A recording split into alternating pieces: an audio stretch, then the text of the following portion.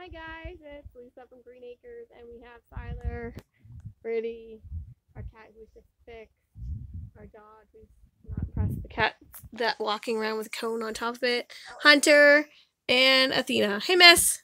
Hi. Hi. Hi. So today, what are we playing? the game of meme. Okay, so let's explain this game. So first, we have some themes. Oh. So you pick a theme. Right now we have failure. And what you do is you get each player gets five of the meme cards. They're just a bunch of words in blank spots. And then you get five of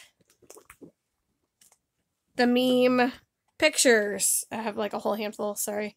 And they're all just various pictures. So you pick a topic. and then they pick a topic. Uh, we have failure right here. So we have the future is all about me. That's a scary looking person. we have don't look at me. That's upside down, but that's okay. That was Athena. Actually, it's pretty good. Um, first class all the way. That was also Athena. And um, but at what cost? I don't know. I think I'd like that cost, but um, this is one of my favorites.